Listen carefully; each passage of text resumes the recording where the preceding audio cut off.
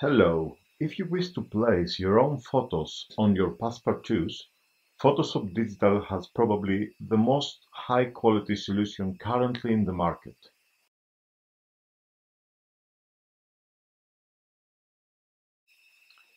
In the Passepartout package you will get from Photoshop Digital, you will find the Passepartout itself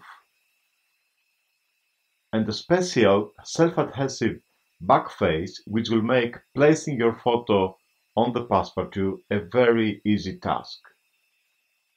The first step is to peel off the yellow cover that will reveal the self-adhesive surface of the back face. Notice the placement guides we have printed on the back face.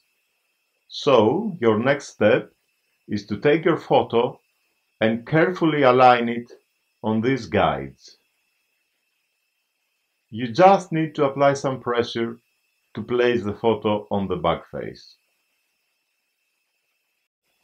The last step is to turn the Passepartout upside down you can see that it also has some placement guides. And you just take the back face and carefully place it on top of the Passepartout itself.